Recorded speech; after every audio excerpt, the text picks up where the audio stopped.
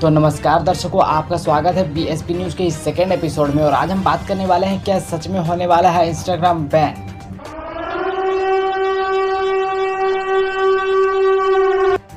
क्या टिकटॉक की तरह इंस्टाग्राम की भी लगने वाले हैं? क्या टिकटॉक की तरह इंस्टाग्राम को भी मोदी सरकार लात मार के इस देश से बाहर निकालने वाली है? तो आप भी अगर जानना चाहते हैं कि इंस्टाग्राम सच में होने वाला है बैन तो बने रहिए हमारे साथ हम आपको ये बात ज़रूर बताएँगे। इंस्टाग्राम बैन होने का सबसे बड़ा कारण इनको बताया जा रहा है।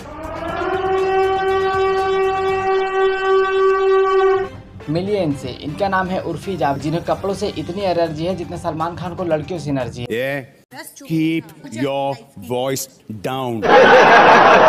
तुम्हें टकले के सर पर बाल नज़र आ जाएँगे पर इनके तन पे कपड़ा नज़र नहीं आएगा। सही बात है। और इसी का डर मोदी सरकार को है कि आने वाली पीढ़ी कहीं कपड़ा पहनने से इनकार न कर। अरे यार ऐसा कैसे सोचते हो?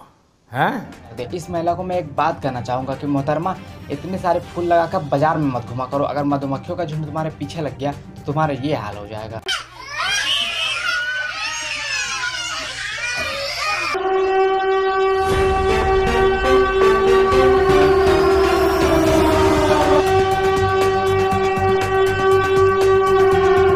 इनके अनुसार तुम्हें कपड़े पहनने की बिल्कुल ज़रूरत नहीं है। बस 10-15 अपने फ़ोटो खिंचा लो और उसे ही अपने तन पर लगा लो। मैंने आखिर अपने रब से पूछ ही लिया, हे रब, मैं कैसे पैदा हो गया?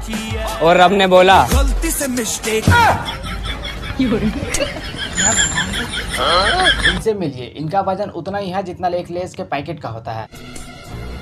चुप कर कुत्ते। इन्हें कपड़ों से कुछ खास एलर्जी तो नहीं बस इन्हें बार बार दौरा पड़ता है और ये कुछ ऐसे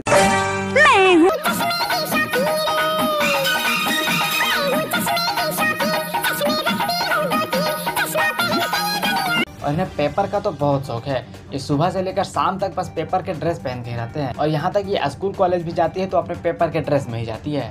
तेरी मेरी गल्ला हो गई मशरू कितने चलिए तू कितने चलिए तू कितने चलिए। तो अगर इंस्टाग्राम इनके कारण से बैन हो जाता है तो आप इन्हें कौन कौन सी गालियाँ देंगे और कौन कौन से सुझाव देंगे ये कमेंट में ज़रूर बताएँ। और आपसे मिलते हैं हम अगली न्यूज़ में।